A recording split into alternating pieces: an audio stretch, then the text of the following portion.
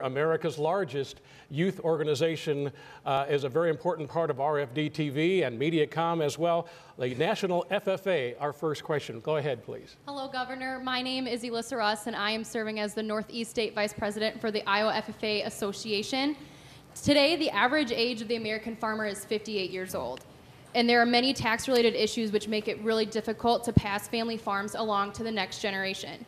What would you do as president to solve this problem? Well, thank you for being here. Thank you for that great question. And by the way, 58 doesn't feel that old to me anymore. So I don't want I mean, my little girl, when my wife was turning 40, some, uh, little, I shouldn't say not that long ago, but when she was turning 40 a little while ago, my little girl says to my wife, her beautiful mother, she goes, Mommy, you were born in the last century? I said, swear, the 1900s weren't that long ago. but this is a serious issue. I think there are a couple of things we need to do. We need a full repeal of the death tax, the so-called estate tax. We need to do that for several reasons. One, you're exactly right. It shouldn't be hard for a farmer to pass along their farm to the next generation, their sons and daughters. Unfortunately, it's getting harder and harder to do. These are, are, dollars that have already been taxed once. They shouldn't be taxed a second time. We shouldn't punish people for saving instead of spending their money hits farmers, hits small business owners, hits others.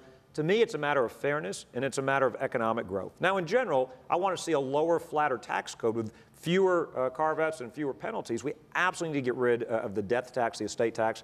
I'm proud in Louisiana, even before I was elected governor, our state had gotten rid of that tax at the state level. It is time to get rid of it. Now, sometimes in D.C., they'll try to, you know, only in D.C. could they do this. They'll try to compromise and try to set an arbitrary number. Just get rid of the whole thing, repeal it once and for all.